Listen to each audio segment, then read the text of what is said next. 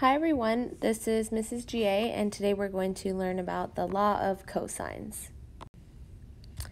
Um, so the law of cosines tells us that in any triangle ABC, um, we can uh, set up this type of equation. So here I have three different scenarios, so this will depend on what information we're given.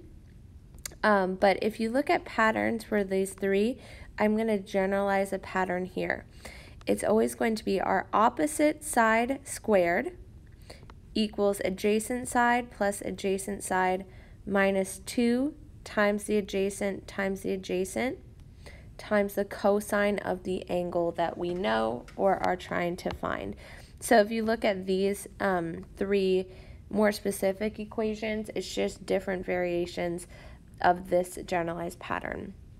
So again, it's opposite side equals adjacent squared plus adjacent squared minus 2 times adjacent times adjacent times the cosine of the angle that we know or are trying to find.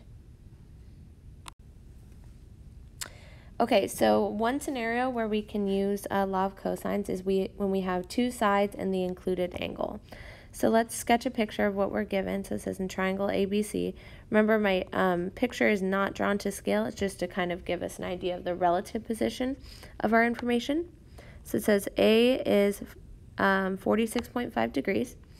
Side B, which is opposite angle B, is 10.5. And side C is 18.0. So if I look at um, what I have, I see here that I'm not able to use law of, of sines, which we learned in the last lesson. So remember, to use law of sines, you need a pair of um, angle opposite sides that you know. So here's a perfect case where you say, okay, I can't use law of sines. I guess I'm going to try um, law of cosines. So you'll see that if we have this angle, this would be adjacent side, this is the adjacent side, and this is the opposite side. So that means we can set up the equation a squared, that's the opposite side of the angle we know, equals adjacent squared plus adjacent squared minus 2 times adjacent times adjacent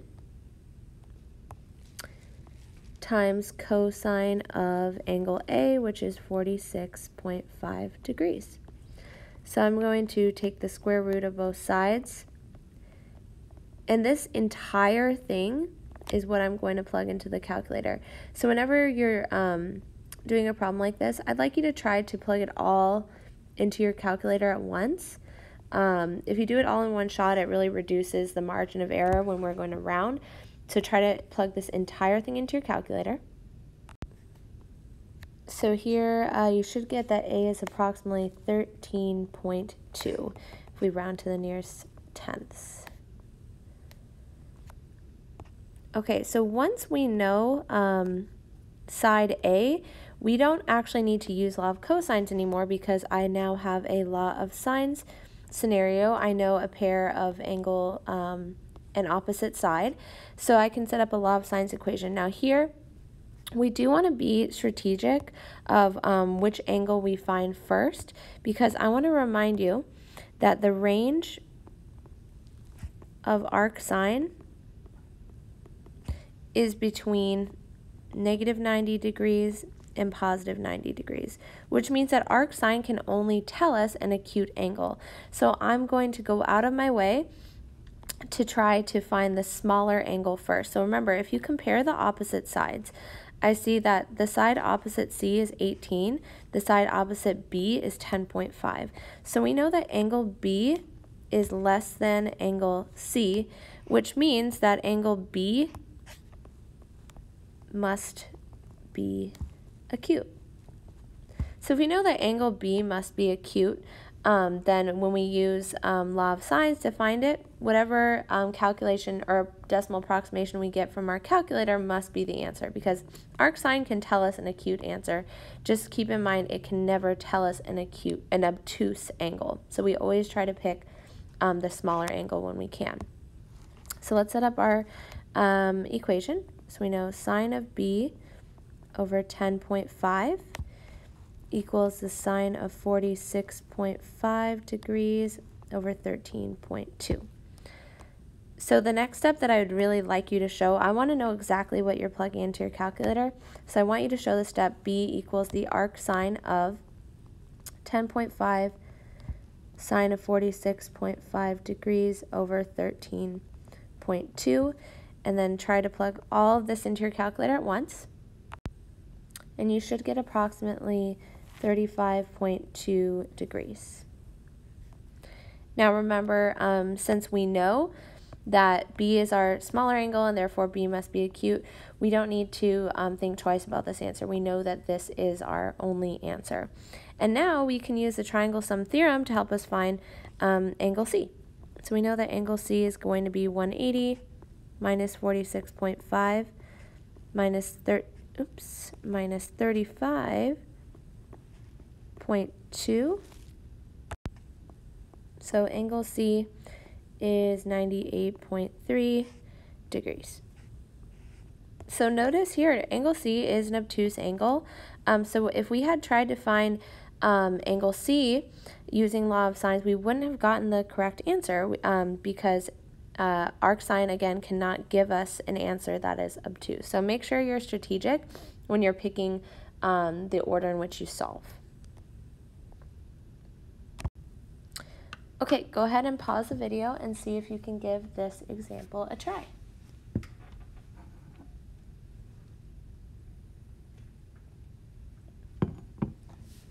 Okay, let's check your work.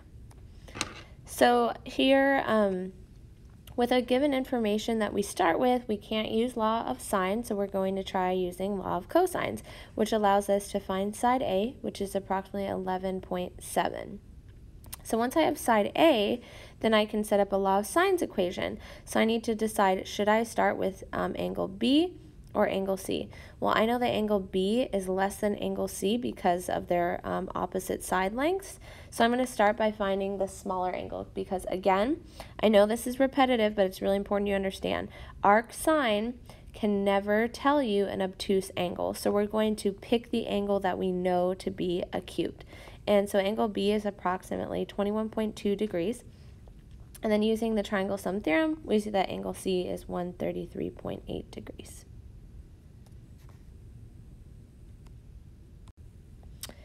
Okay, so before we do um, our second example, the a different case that we can use law of cosines, there is something really important to know about arc cosine. So of course we use arc cosine when we're solving for the angle. Um, it's really important to know that the range of arc cosine is between 0 and pi, which in degrees is 0 and 180 degrees. So why do we care about this? Well, because um, unlike arc sine, arc cosine can give us acute and obtuse answers.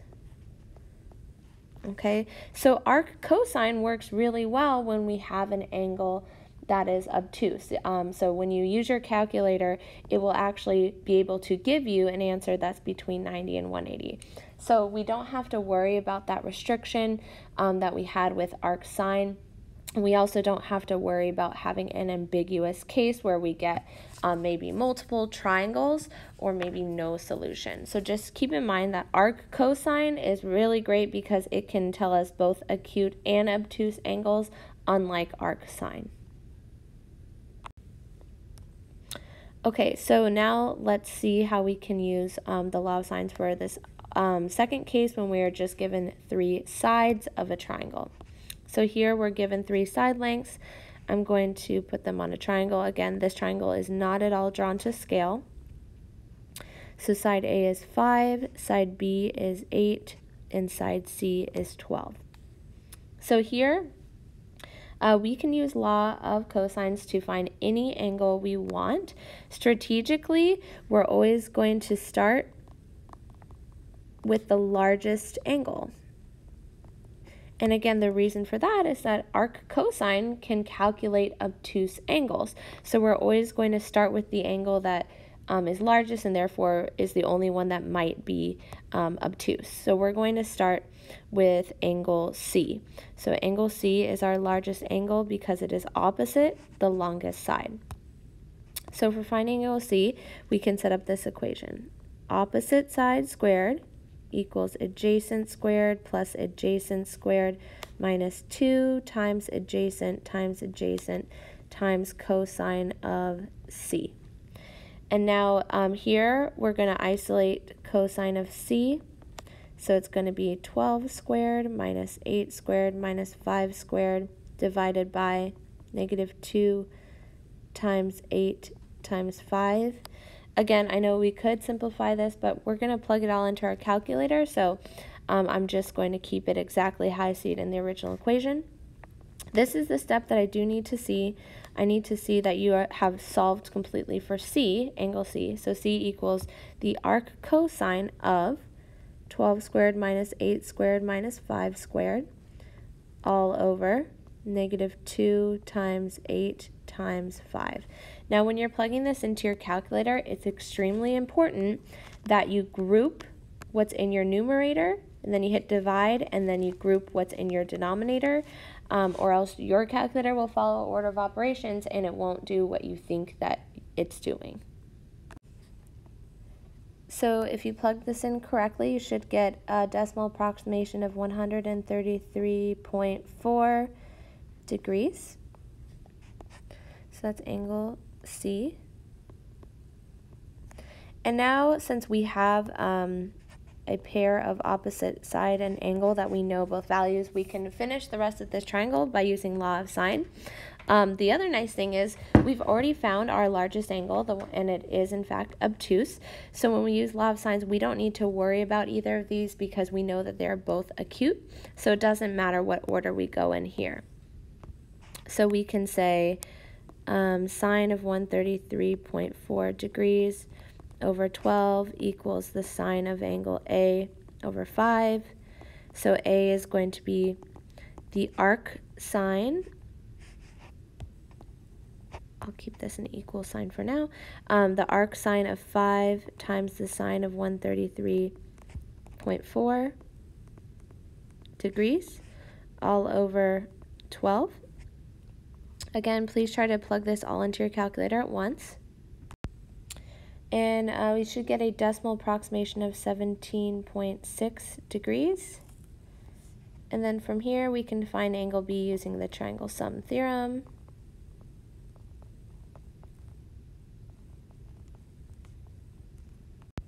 And we get that angle B is 29 degrees. And there you have it. The important thing to do here is just to make sure that um, when you are using a law of cosines, you start with the largest angle because arc cosine is really good at giving us an obtuse answer while arc sine is not capable of doing that. All right, go ahead and pause the video and give this example a try. We'll check our work in just a few seconds.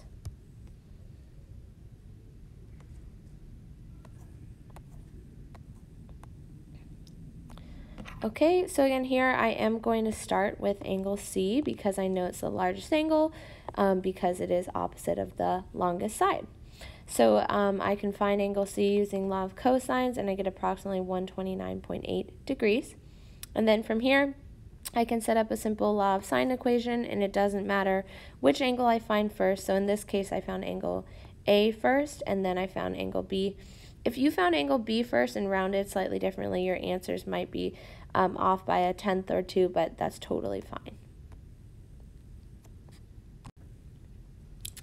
All right, so now we're going to um, talk about a really common type of law of cosines problem, and that is a navigation problem.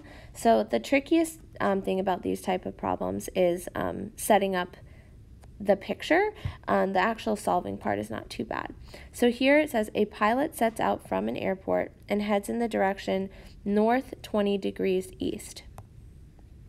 So let's say this is uh, the starting point.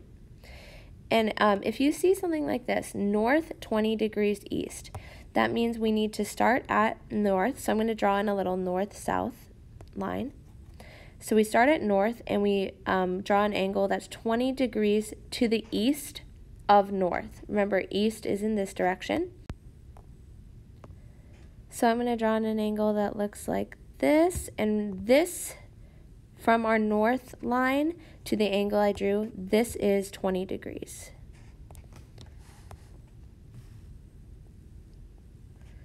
Okay, so it says he's flying at 200 miles per hour, and then after one hour, he makes a course change. So that implies that at the moment he uh, makes the change, he has flown 200 miles, again, 200 miles per hour, and he was flying for one hour. So for this course correction, he's now going to head in the direction of north 40 degrees east. So I need to draw in a new north-south line. And remember, from north, I head 40 degrees towards the east. So that's going to look a little bit more like this. Maybe that's a little over exaggerated for 40 degrees, but our pictures are never perfectly drawn to scale, so that's okay. So again, we start north and then we had 40 degrees to the east, and the um, angle between is 40. Okay, and then it says half an hour after that, so since he's flying um, 200 miles per hour and it's been half an hour, that means that this distance is 100 miles. Um, he says he makes an emergency landing. Um, so this is the flight path he takes. Um, so first they ask us to find the distance between the airport where he started and where he lands. So that's this distance right here.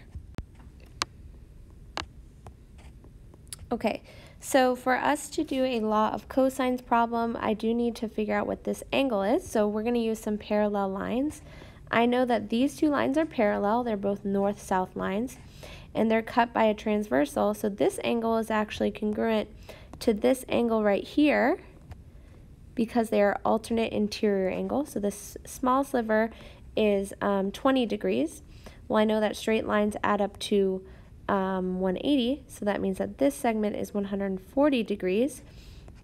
So if I add up these two angles, I get 160 degrees for this total angle. So that um, will allow us to do law of cosines. So we can say opposite side squared equals adjacent squared plus adjacent squared minus 2 times adjacent times adjacent times cosine of the angle, which again we said was 160 degrees. So x is going to be the square root of all of this.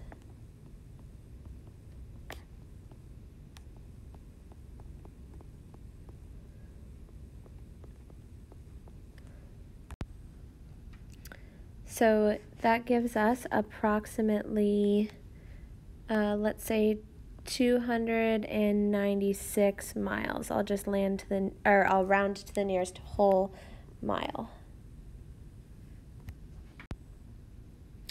All right, so now we can move on to part B, which asks us to find the bearing from the airport to where he lands. So we want this direction, which means we do need to find this tiny little sliver in here, which I'll call theta, and we can actually use law of sines to help us find theta. So we can say the sine of theta over 100, the opposite side, equals the sine of 160 degrees, which remember is um, this angle right here over x, which is 296. So theta is going to be the arc sine of 100 times the sine of 160 degrees all over 296. So that gives us approximately 6.6 degrees.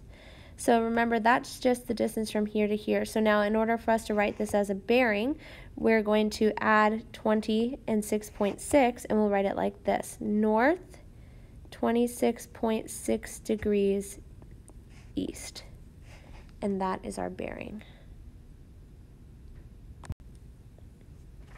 Okay, the last thing we're going to talk about really quick um, is a really useful formula. It's called Heron's formula, and it can be used to find the area of um, triangle ABC. Um, and we only need to know the side lengths ABC to find this area. So it can be useful when you don't know what any of the angles are. So the formula is the square root of S times S minus A times S minus B times S minus C Of course, A, B, and C are the sides of your triangle.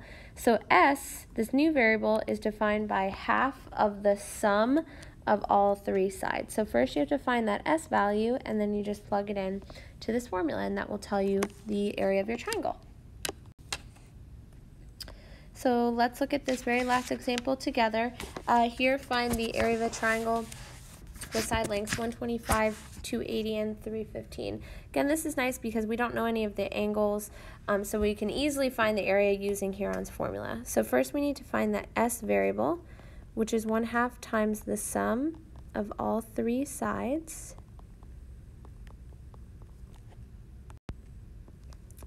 So that S variable is going to be 360. So remember the area is S times the difference of S and A times the difference of S and B times the difference of S and C, A, B, and C being the three um, sides of your triangle. So it's going to be 360 times 360 minus 125 times 360 minus 280 times 360 minus 315. And if you plug this into your calculator, and let's round to the nearest whole number, uh, we get approximately 17,452. And then we would say units squared. And there you have it. So this might be a useful formula um, that might be worth memorizing. All right, uh, that is all for today's video. Thank you so much for watching.